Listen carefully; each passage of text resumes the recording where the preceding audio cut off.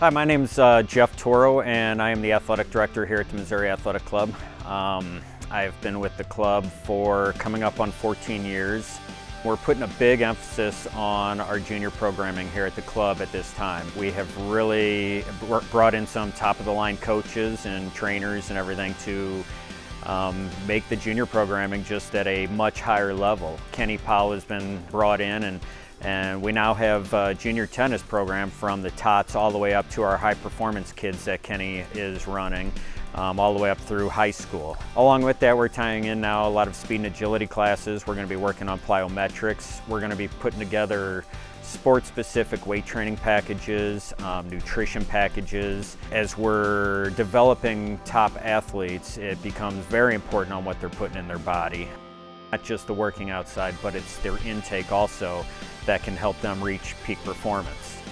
The swim and dive team is a uh, big part here at the MAC when summer rolls around. I think uh, we had around 160 kids last year and I think uh, we made sure that the kids are having a lot of fun. It's, it's all about fun but we're also making sure that we're, we have the right coaches, that uh, the kids are improving on a regular basis. But our swim and dive program went up to around 220 kids this year, um, especially on the diving side. We probably doubled it from last year. The kids kind of form relationships with each other. But most important is those kids are just having a blast out there. I watch the kids uh, progress throughout the season and see their times get better and you can see that they're all proud of themselves and they're having a blast with their friends out there. We offer sports camps uh, all through the summer months, June, July, and August. Camp MAC is a camp where your kids come in and they are able to get a little bit of everything. You know, tennis, squash, racquetball, self-defense, fencing, pool time, um, some soccer occasionally. They're just getting uh, to try out all the different sports and uh, run around and burn off a lot of energy and they, they have a blast.